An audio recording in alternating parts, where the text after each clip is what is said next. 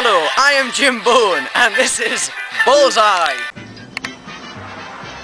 And let's see what you can win today. And one, a beautiful bag of sawdust. And two, a beautiful leaf. And three, a beautiful bag. Ball not included. And four, the ball that was in the bag, the prize before. And five, a beautiful bin with added rubbish. Look at that. And six, these three beautiful warning signs. And seven, a beautiful puddle. And eight, a beautiful light street ball. Special prize. A weekend with Carlina. I'd love to have a weekend with you. Ah, stink, I really do.